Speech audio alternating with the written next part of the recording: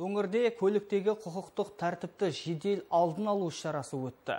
Ақтөбе станциясындағы желілік полиция және темір жол ұйымдарының қызметкерлері бірлесіп құқық бұзушылықты болдырмау уақытында бақылау жүргізді. Оның ішінде кәмелет жасқа толмағандардың мүлікті бүлдіру дерегін назарға алды. Сонымен бірге көші қон заңнамасын бұзған шетелдіктер де анықталды жедел алдын алу іс шара кезінде 33 азамат әкімшілік жауапкершілікке тартылды. Оның ішінде ақтөбе станциясы теміржол вокзалы яғни қоғамдық орында алкогольдік ішімдік ішіп келу немесе қоғамдық орында алкоголь ішімдік ішу ішкені үшін бес азаматқа әкімшілік айыппұл салынды. Және қоғамдық орында яғни ортақ қолдану орталығын ластаған үшін жеті азаматқа жеті азамат әкімшілік жауапкершілікке тартылды.